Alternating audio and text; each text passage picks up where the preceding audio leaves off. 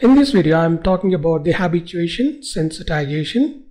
and the mechanism called long-term potentiation and long-term depression in the learning and memory process in the higher level in the brain.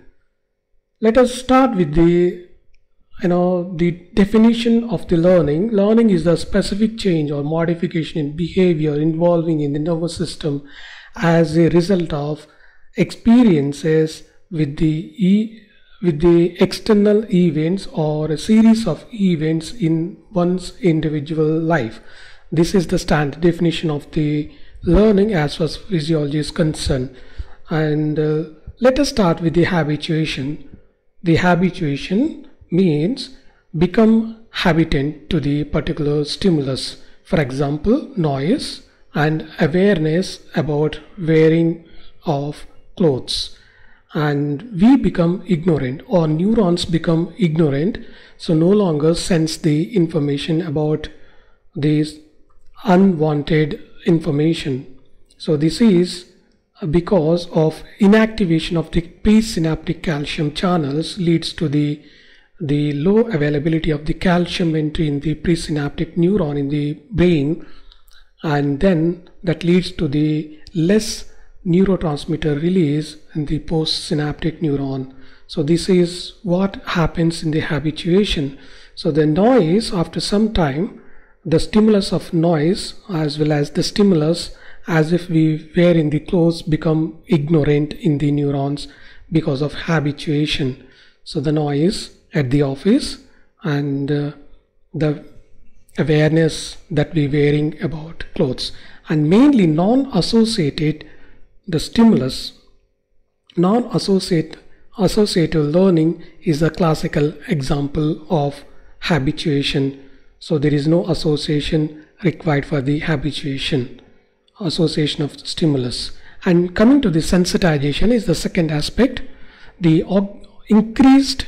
augmented postsynaptic response seen in the neuronal system while learning and the presynaptic facilitation is the main factor which promotes more uh, the activation in the postsynaptic neuron just reverse to the habituation with additional so the sensitization may increases with the uh, addition of uh, further noxious stimulus so the two noxious stimulus will reinforce the sensitization process. The sensitization habituation process are the short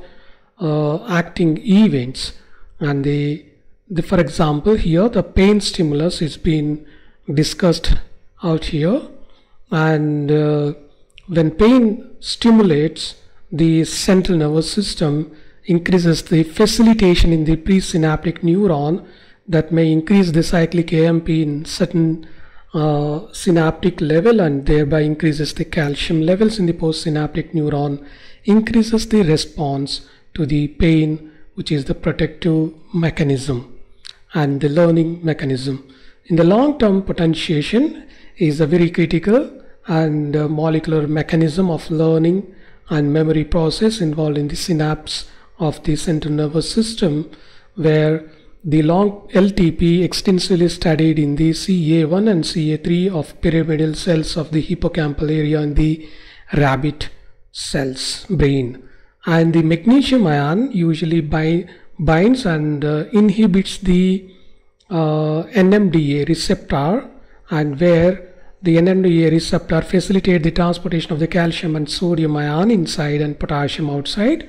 so as and when the glutamate releases the glutamate is the neurotransmitter in certain neurons and binds with the NMDA receptor which facilitates calcium entry inside the postsynaptic neuron. Apart from that, the glutamate also binds with the glutamate glutamic receptor in the postsynaptic neuron that uh, activates the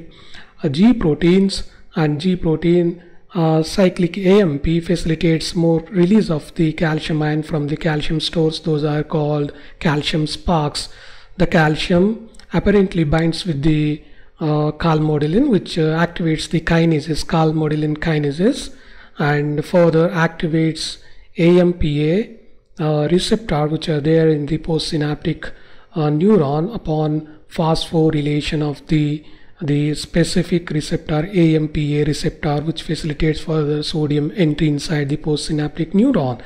And uh, and also the calcium ion activates protein kinase C which may in turn activates the more release of the glutamate neurotransmitter probably via nitric oxide uh, the chemical and uh, LTD long term depression is just reverse to the LTP where the neurotransmitter binds with the glutamate 2 receptor which inhibits AMPA receptors